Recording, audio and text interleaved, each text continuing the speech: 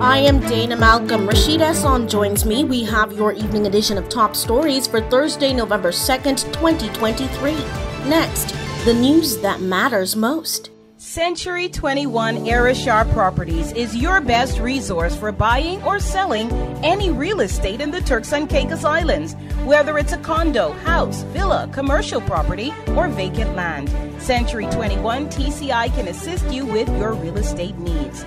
No matter the sign, keep Century 21 Arishar Properties in mind. Call 649 941 7368 or email your friends at century21tci.com. A net billing program allowing residents to install renewable energy systems and sell surplus electricity to the grid is part of the new renewable energy bill currently being tabled in the House of Assembly. Also in the details, to reduce fossil fuel reliance, increase energy diversity, improve infrastructure, attract energy investors, create energy jobs, and getting TCI to the place where 33% of energy comes from renewable sources by 2040. While country leaders were today gathered in Grand Turk discussing new issues, an old one emerged in Providenciales. Main roads were inundated with water, slowing traffic and making moving around in the busy town nearly impossible. The Turks and Caicos Met Service had forecast a 50% chance of rain and thunderstorms for Wednesday going into Thursday night because of the last remnants of a surface trough moving away from the country. It's not clear if drainage issues contributed to that serious flooding in downtown Provo.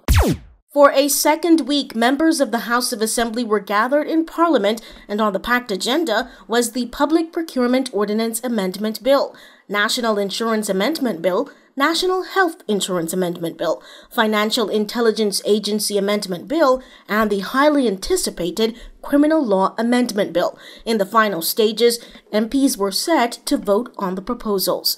Rashid Esson is next with updates from around the region. This is your news leader, Magnetic Media. The Royal TCI Police Force is recruiting males and females between 18 and 40 years old. You have an opportunity to become a member with benefits like uniforms and a basic salary of over $43,000 per year. What you need is proof of TCI citizenship. Be a holder of a valid TCI driver's license. Hold at least a high school diploma or three CXC subjects. Be computer literate and be physically fit. There is more, so be sure to visit the website for details details and the application. It's tcipolice.tc. More than a job, a brilliant career in law enforcement. It's now time for your regional top stories. I'm Rashid Esson. Belize has decided to remove all fees charged in public hospitals, a move towards universal access to quality healthcare as financial barriers will be stumped out, especially for low income people. This was announced by the government of Belize in a press release on October 31st. The World Health Organization WHO is calling attention to suicide on its Facebook, speaking on the warning signs of suicide and how one should approach helping a suicidal person. For instance, you can lend a listening ear, help them find professional help, and also check on them frequently to ensure they're coping properly. From 2015 to 2019, 98,000 suicide deaths per year were reported in the Americas, according to PAHO. The Agricultural Development Organization in the Bahamas donated 200 backyard farming kits to the Fox Hill community to inspire families to adopt backyard farming. This is in partnership with Royal Caribbean Cruise Lines and the Church Commercial Farming Group.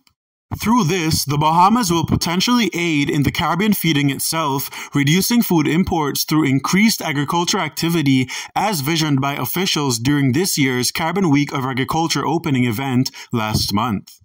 Magnetic Media is your news leader. The National Health Insurance Plan has over 37,000 contributors. That's 37,000 of us working together to take care of one another. Your contribution ensures my wife and unborn child gets the prenatal care they deserve. Your contribution helps me to afford my medication. Your contribution has helped my loved one receive treatment during their untimely emergency. Your contribution gives my family peace of mind. So thank you for your contribution. This message has been brought to you by the National Health Insurance Board, building a healthy nation, one person at a time. Following evidence from several former aides and civil servants, the UK government has been painted as slow to act and unsure during the early stages of the coronavirus pandemic. Dominic Cummings, former advisor to ex Prime Minister Boris Johnson, described a chaotic first few weeks, while other aides exposed that there was fear surrounding their slow reaction that they would kill people. Over 67,000 people in the UK and Wales died in 2020 alone. Disorganized showers and thunderstorms are over the central Caribbean today. They're associated with a trough of low pressure. Environmental conditions could become a little bit more conducive for development in a day or two, and a tropical depression could form when the system moves over the southwestern Caribbean Sea during the latter part of this week. Regardless of development, though, the National Hurricane Center says this system has the potential to produce heavy rains over portions of Central America late this week and into the weekend. That is it for this edition of the news. Thanks for joining us. Top Stories in 5 is a magnetic media production.